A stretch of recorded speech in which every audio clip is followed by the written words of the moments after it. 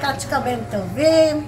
אנחנו נמצאים כרגע בבית בכפר, במחלקה סיעודית. הפעלתי פה את הדיירים.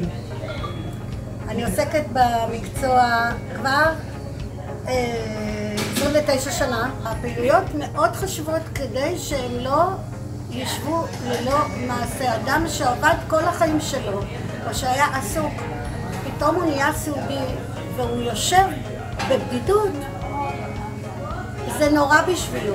אין לו את התקווה לשרוד. הפעילות נותנת להם תקווה שהם יכולים עוד לעשות משהו, אפילו משהו קטן, ואפילו להיות בחברה, ליהנות, לצחוק, להרים ידיים, להוריד ידיים. לא חשוב, העיקר שהם ישבו יחד. ככה אני רואה את התעסוקה. חשוב מאוד גם לדעת איך עושים את התעסוקה.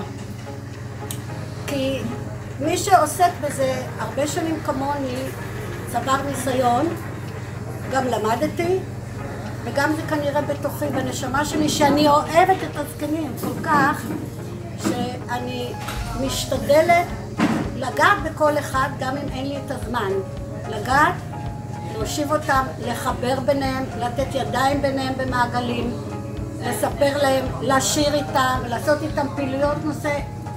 כל דבר שעולה, וחוץ מזה אנחנו גם עובדים במסגרת של איך לעשות תעסוקה במשרד הבריאות.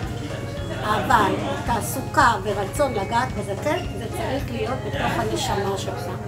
אה, האתגר הכי גדול שלי זה דווקא שאומרים לי, האיש הזה לא עושה כלום. לפעמים שאתה בא, הוא, אני לא אכניס אותו לקבוצה, אני אומרת, אתה תכניס אותו לקבוצה, הוא יהיה עם כולנו, פשוט לצורך חברה וגירייה, גירוי חושים. הוא ייהנה מהחברה, מספיק שהוא ייהנה מהחברה.